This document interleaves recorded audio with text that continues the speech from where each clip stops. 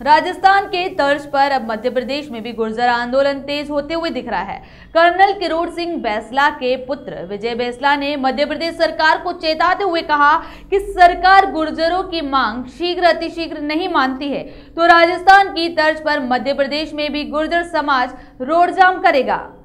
Colonel crore Singh बेसला के पुत्र विजय बेसला ने कहा कि वे राजस्थान से होते हुए भी मध्य प्रदेश से संबंधित है।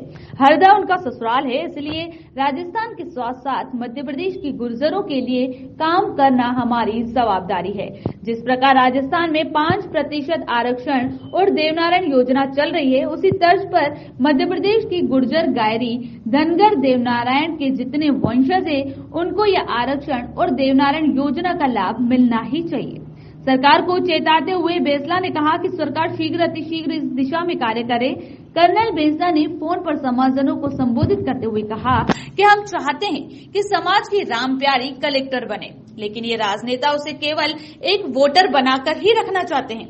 कार्यक्रम की मुख्य अध्यक्षता विजय बेसला द्वारा की गई। मुख्य अतिथि के रूप में कैलाश विजयवर्गीय मौजूद रहे। साथ ही कार्यक्रम में सांसद अनिल फिरोजिया, पूर्व केंद्रीय मंत्री डॉक्टर यशवीर सिंह गुर्जर, पूर्व सांसद चिंतामणि मालवीय, देवसेना के राष्ट्रीय अध्यक्ष रघुवीर पटेल गुर्जर आरक्षण समिति के महामंत्री शैलेंद्र दवाई समाज के संत चरण सिंह पंडा उपस्थित रहे।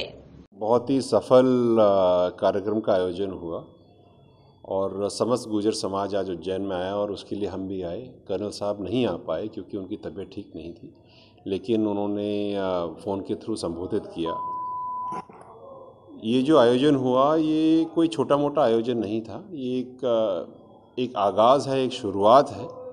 और बातें बहुत हुई चर्चाएँ बहुत हुई और राजस्थान की तर्ज पर जिस तरह से गुजर समाज को वहाँ पे देवनारायण बोर्ड की तहत से जो बेनिफिट्स मिलते हैं और जो आरक्षण की बातें होती हैं और जो पाँच परसेंट आरक्षण वहाँ मिल रहा है उन सब चीज़ों को लेकर के चर्चा हुई और काफ़ी सकारात्मक रही। आगे भी और कुछ योजना बनाई आगे कार्यक्रमों के लिए? अब आगे के कार्यक्रम तो बात की बात है। सबसे पहले ज़रूरी बात यह है जो मैं आपके माध्यम से सबको बताना चाहता हूँ कि हमने बैठ कर के आज चर्चा करी, मैंने बताया कि गुजर समाज कितने बाहुल क्षेत्रों में है।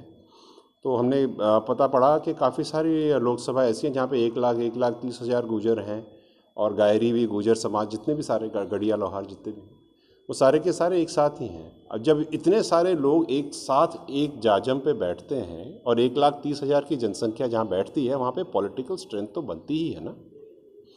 और मैं ये चाहता हूँ और हम लोग ये चाहते हैं कि जितना सामाजिक तौर से समाज आगे बढ़े, उतना ही पॉलिटिकल तौर से भी आगे बढ़े।